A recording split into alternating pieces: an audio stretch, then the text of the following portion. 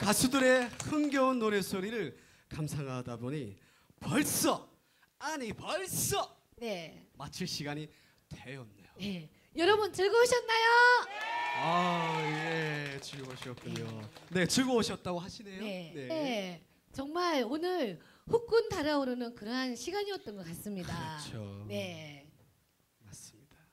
네, 저희는 어, 마지막 무대를 장식해 줄 가수를 소개해 드리고 물러날까. 네. 아쉽지만 네. 마지막 가수는 바로 얄미운 세월아의 이은경 씨입니다. 네, 어, 네.